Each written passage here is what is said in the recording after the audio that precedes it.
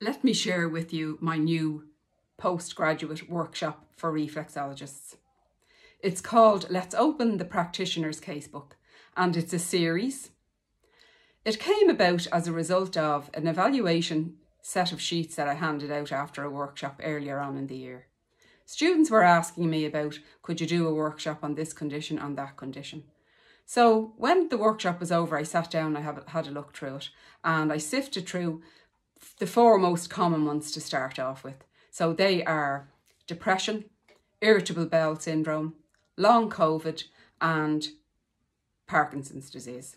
So I'm going to share some of my own work and my case studies with the with the group in the workshop and I really hope you'll join me for that.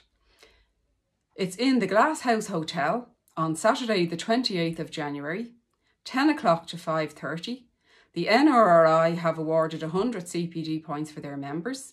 The cost is €150, Euro, which includes a light lunch and a goodie bag. I really hope you join me because I'm very passionate about helping reflexologists make a good treatment really, really fantastic.